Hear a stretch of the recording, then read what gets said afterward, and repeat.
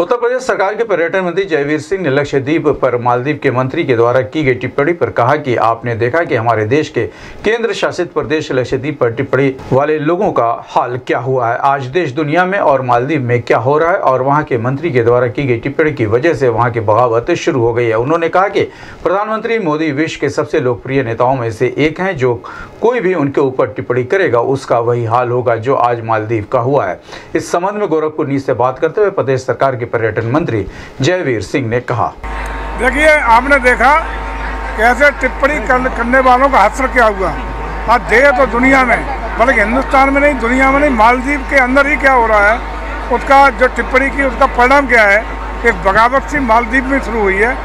आज आदरणीय मोदी जी विश्व के सबसे लोकप्रिय नेताओं में उनके खिलाफ जो टिप्पणी करेगा, जो उंगली उठाएगा, उसका वही असर होगा जो आज मालदीव में हो रहा है।